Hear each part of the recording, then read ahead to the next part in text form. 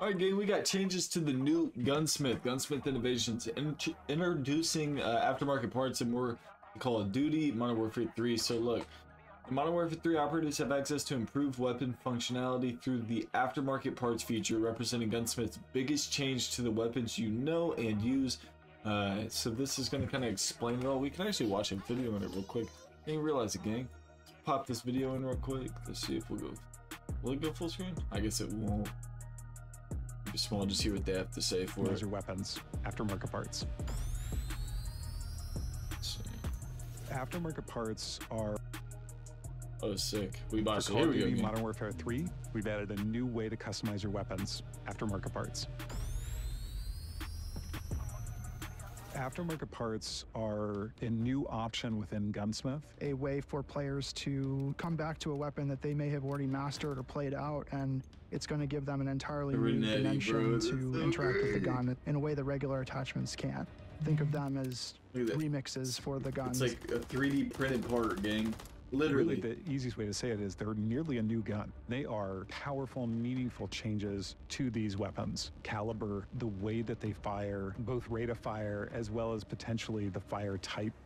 We're going to have one of our heaviest light machine guns in the game have a conversion kit that turns it into a bullpup, which greatly shortens the configuration of the gun and makes it so that you can So really run dirty, the gun bro. with it. You can spray from the hip, you can sprint out way faster than you could with this much longer, heavier version of the weapon.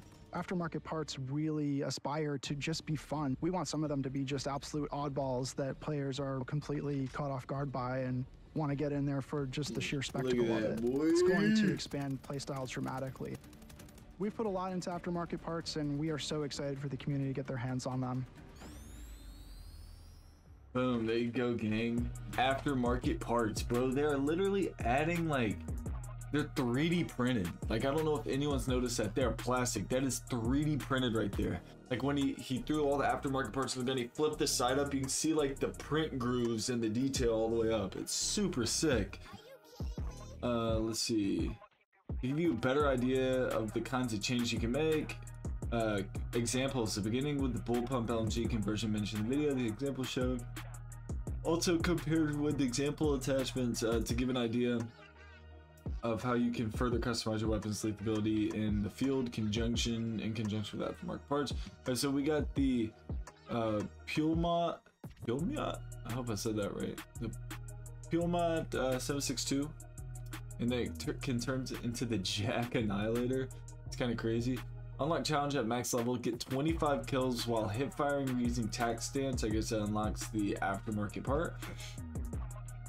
Transform this belt-fed machine gun with the bullpup conversion kit, greatly increasing the weapon's mobility and handling, fire rate, and recoil off the hip, um, and intact stance. What was once a behemoth weapon can now be used to run and gun without giving up the LMG's deep ammo reserves.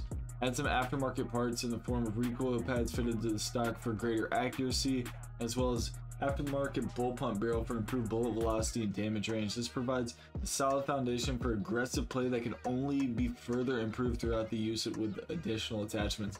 So essentially, you can take an LMG and say, I'm not going to be a camp a little bit, and turn it into a bullpup and rush around and rip nerds. Uh, second option right here, Renetti handgun with full auto carbine. Uh, so it says unlock 30 kills uh, with five attachments equipped, and then you unlock this bodies. Oh, right here. Through the use of 3D printed parts, you can convert the burst fire Renetti into a full auto handgun. A reminiscent of an SMG, gain increased bullet velocity, range, and rate of fire at the cost of some mobility and recoil control. The conversion also supports tactical stance. Gang, this is so sick. Uh, right here, it looks like he added stocks that make it akimbo. Like this guy, this it's so sick. Uh, let's see what they say here. Add additional support to the weapons frame, allowing operators to place one WSP swarm in each hand for aggressive akimbo stance. And he's playing on favela. And if I am high, uh, let's see. Complement the akimbo conversion kit with a laser that improves hip fire accuracy, aggressive stealth play. Gang, this is super big, man. Um, attachment unlocks for the new Modern Warfare 3 weapons attachments such as grips, barrels, magazines, and stocks will no longer require players to use a specific weapon after they have already been unlocked for another one. For example, The assault rifle stock attachment is available for both the AMR-9 SMG at level 8 and the Riveter shotgun at level 12. If your AMR-9 is already progressed to level 8 or higher, the stock will be available on the Riveter immediately. Done. The Riveter does not have to be level 12 to use the joint.